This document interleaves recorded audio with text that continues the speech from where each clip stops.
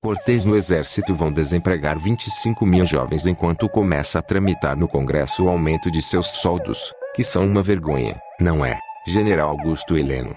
O governo federal, que não tem dinheiro para nada, vai levar as Forças Armadas a cortarem quase um terço dos seus recrutas, 25 mil dos 80 mil jovens que estão alistados hoje.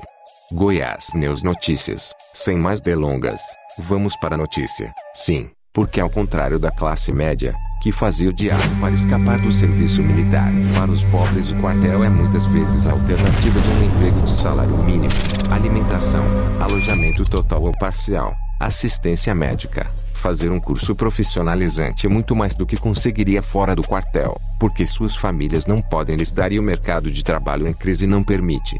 Inscreva-se no canal para receber nossos vídeos. Deixe seu like, compartilhe com amigos, ative as notificações. Até a próxima.